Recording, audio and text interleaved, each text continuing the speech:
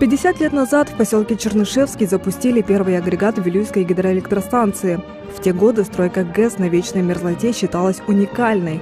Многие конструктивные решения разрабатывались впервые. Вилюйская ГЭС – самая первая в мире электростанция, построенная на вечной мерзлоте. Вот уже полвека гидроэлектростанция является основным источником энергоснабжения всей Западной Якутии. Сегодня Вилюйская ГЭС – одна из крупнейших в республике. Основной потребитель энергии – предприятие алмазодобывающей промышленности. В республике есть три источника электроэнергии. Ну, правда, недавно у нас появилась четвертая Светлинская ГЭС. А так это основной из источников.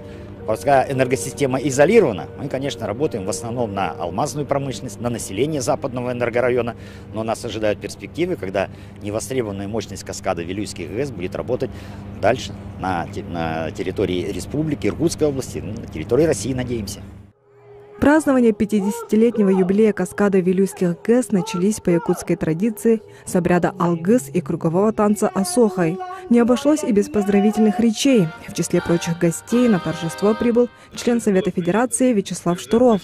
Он отметил, что без Вилюйской ГЭС не было бы алмазной промышленности. До 50-х годов, когда принято было решение развить алмазной промышленности, то ну, впереди предстояли огромные трудности. И вот э, знаменитый Ампенгеймер, э, в то время абсолютно мировой монополист, говорил так, что, ну, может, русские способны будут добыть алмазы там, э, значит, вдалеке, со всеми трудностями, но там есть непреодолимые, непреодолимые препятствия, там нет электроэнергии, и никогда ее там не будет. Это говорит о том, насколько большое значение для алмаза промышленности имело надежное энергоснабжение. В 2005 году каскаду было присвоено имя Евгения Ботанчука. Именно он возглавлял строительство Вилюйской гидроэлектростанции.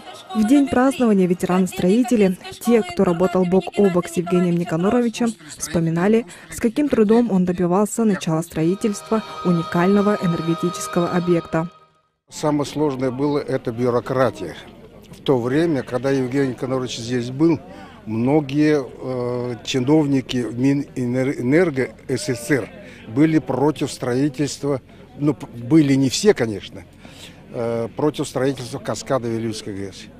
Евгений Никонорович, Борис Александрович Медведев, директор Вилюйской ГЭС, они э, всеми своими силами это, постарались пробить это бюрократические препоны. Полувековой юбилей каскада Вилюйских ГЭС закончился торжественным собранием во Дворце культуры «Алмаз». Лучшим работникам и ветеранам-строителям вручили заслуженные награды.